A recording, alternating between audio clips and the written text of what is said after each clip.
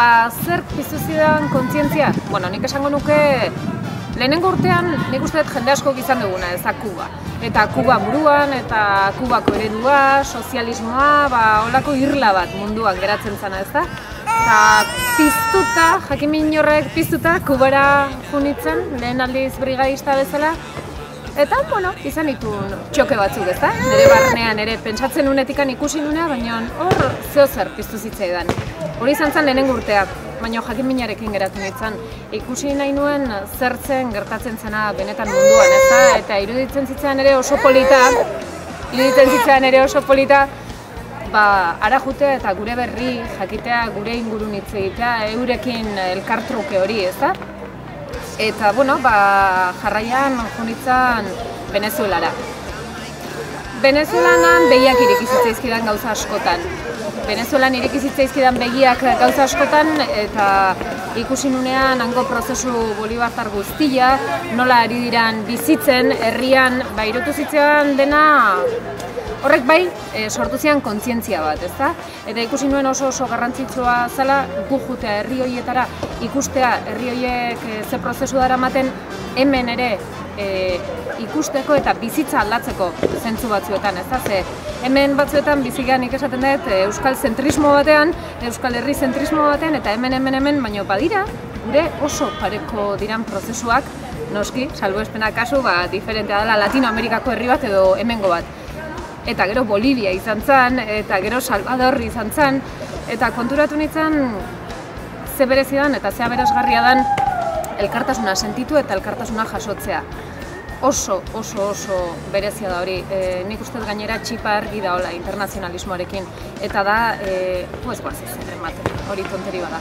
Guaz, e, elkarlan bat egitera eta gehien bat ikastera eta hainbeste ikasten da beste herrialdetan, hainbeste pausu e, lortzen dira gero herri honetara etortzeko eta herri honetan bidea posible dela ikusteko eta etorkizuna gure esku dagoela ikusteko, ba, nik uste internazionalismo oso garrantzitsua dela gure herrian eredu hartzeko, eta uste ere oso aberasgarria dela eurek jakita hemen herri txiki bat dagoela, iru milioi gerala besterik ez, beraien batzutan auzo bat da, beraien hirietako auzo bat, baina oso oso aberasgarria da, eta topiko bada, ez da? Baina askapenak dioen bezala amaika herri borroka bakarra, egia da.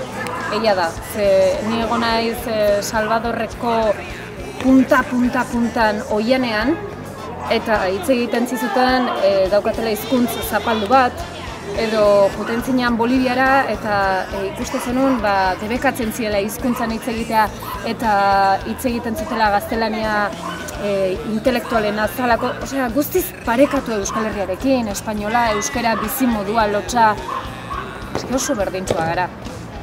Banda gaitzake itxaso batek, baino garrantzitsua da, internazionalismoa beharrezkoa dugu herri honetan.